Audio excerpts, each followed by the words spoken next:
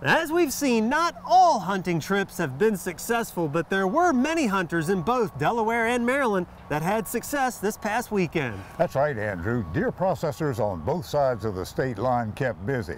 Now a warning, if you don't like the sight of blood or dead deer, now might be a good time to catch up on your texting. With the opening of Delaware shotgun season, a steady stream of hunters comes into Mark's Meats in Millsboro, which is as busy as usual. Busy because if you want your deer turned into something amazing, Mark's is the place to go. And yes, this deer bacon is as good as it looks. Oh yeah, that's beautiful. Well, this morning I got a little spike, and then I got a little six pointer in the back of the truck. Not bad little guy. Some meat in the freezer, that's for sure. I actually got about seven of them on the farm I hunt. And uh, this morning I actually woke up late. I got in the stand about 6.50 and I got the buck first. He was at the corn pile. And then after that, I got that one, and they're in full rut for sure. Well, it happened right off bat this morning. Got in there, it was a little rainy out, a little dark out, and they were chasing does around, and they would put the hammer down on them. So the rut was happening. The rut huh? was happening. They were moving this morning. We were hunting in a clear cut, so it's real thick. Just kind of got to wait for your opening and take a shot when you get a chance. Had you been seeing those bucks at all on any cameras? I got trail camera pictures of them clean back from August. So you've been waiting. Oh yeah, yep. I've been watching them for a while. Right. Had them out in archery season, couldn't get them close enough, but got the gun this time. You wouldn't you know it though during gun season they come in bow range, but Like how long were you out there this morning? Well, I, I get out early, but I mean, I got it at 7.30, so it didn't take long to get it. You know, right through the neck. Went right straight down it did, so it wasn't no problem or anything on onto it. Okay, so this is a buddy of yours got Yeah, this, that's right? my buddy's deer. Yeah, yeah. I had to listen to him shoot it. Every time he talks about it, it gets bigger.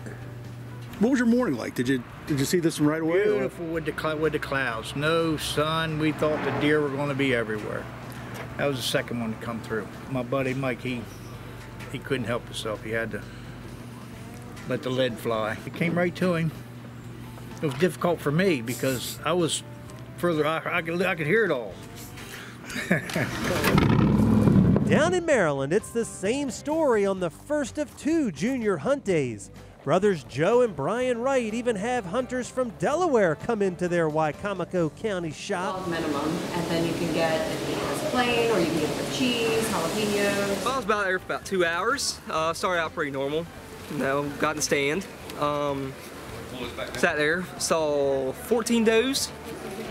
Then um, after the does all ran across the across the ditch, these um, two bucks came out. It was a four point, and of course that buck you see uh, right there was a, I think it was a six point because one there, one, uh, one side of the antlers broke off. And so um, I was going to take the four point. Of course, six point walked out. I took the six point. And after I tracked it and all that, that's what I came up with. Nothing but uh, bucks this morning, as you can see. There's plenty of them in here. The youngsters are having a good time, that's for sure. Going to get a lot busier this afternoon, I'm sure, but probably a few uh, hanging around somewhere. But uh, this afternoon will definitely be busier this evening. And sure enough, deer were coming in well after sunset. Joe Wright's daughters, Grayson and Gabby, had a very successful day, taking two bucks and a doe between them. How long were you out there till you saw it?